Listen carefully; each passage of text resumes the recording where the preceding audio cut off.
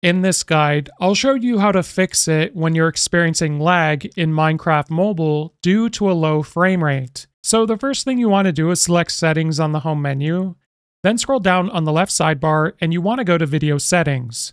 Now by default, Minecraft Mobile will run vibrant visuals that favor performance. However, if you have an older phone, this is going to cause a lot of lag and a low frame rate in game. So what I recommend you do is either adjust the vibrant visuals by going to the Vibrant Visuals options and lowering some of these settings. And if you're still experiencing lag, it might just be best to change Vibrant Visuals to something like Fancy or Simple. Now, when you do this, you'll notice an immediate improvement once you go in game, and you could also try reducing some of these settings, such as render distance or field of view, because those have a pretty big impact on your FPS. So try playing in your Minecraft world now with these lower video settings and you should notice a huge improvement. If this guide was helpful, like and subscribe and we'll see you in the next one.